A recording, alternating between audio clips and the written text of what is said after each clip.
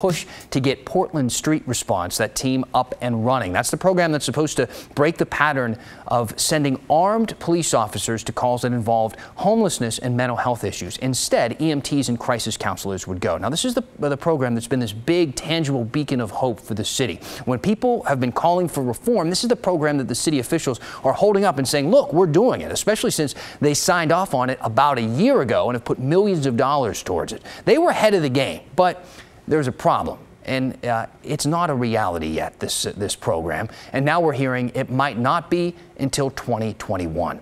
Here's Maggie Vespa.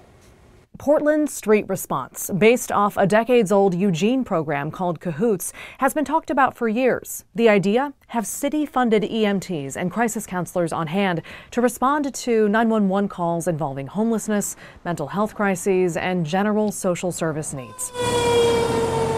Supporters argue such a team is better equipped to handle those types of calls and it frees up police to deal with actual crimes.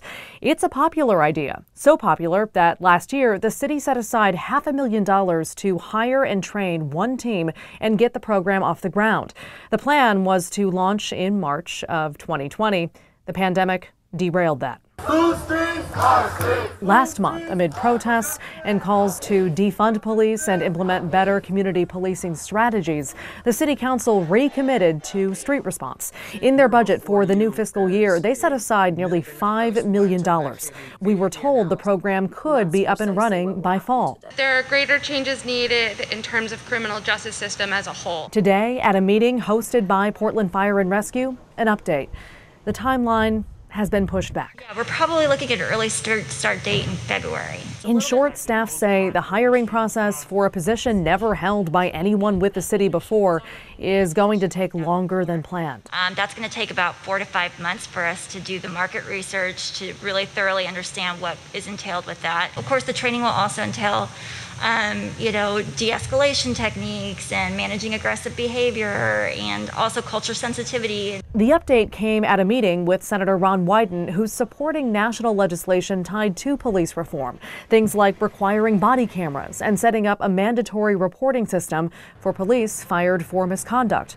For the senator, establishing first response systems that cater to people with mental illness is personal. And my brother suffered from schizophrenia and he was on the street every night for years on end, and not a night went by when the Wyden family didn't think he'd hurt himself or somebody else. Right now, Portland has one paramedic assigned to the street response team.